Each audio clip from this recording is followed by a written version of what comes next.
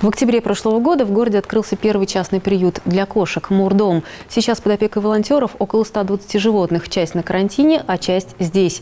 В новой рубрике «Ищу хозяина» мы будем рассказывать вам о подопечных приюта в надежде найти им новых владельцев. Возможно, вы посмотрите наш сюжет и увидите кота своей мечты.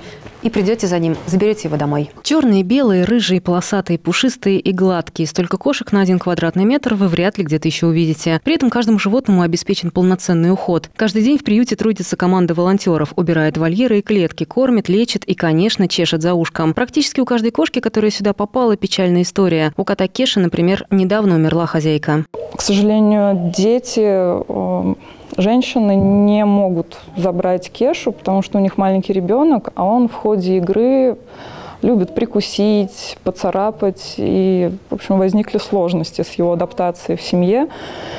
Вот, поэтому Кеша попал к нам на пристрой. Кеш пока немного переживает, но волонтеры надеются, что он скоро адаптируется, и его можно будет перевести в вольер. Пока Кеша был домашним, за ним хорошо ухаживали, кот стерилизован и привит. Зачастую животные поступают в приют в гораздо худшем состоянии из ужасающих условий. Мы еще расскажем о нижегородских котах, которых изъяли у психически больного хозяина, или о Вике, которая попала из квартиры, владелец которой вышвырнул животных с пятого этажа. С подобной человеческой жестокостью волонтеры приюта сталкиваются постоянно.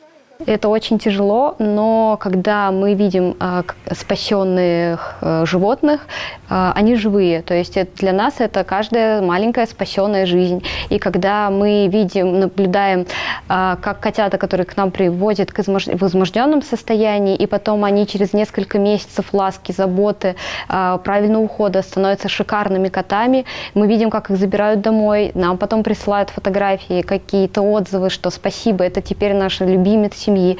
И это для нас, наверное, самая лучшая награда. Рубрика «Ищу хозяина» будет выходить по пятницам в выпусках новостей.